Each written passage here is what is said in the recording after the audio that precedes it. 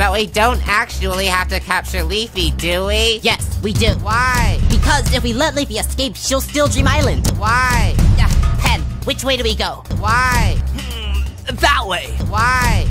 Pen, Pen, just use the Leafy detector. Why?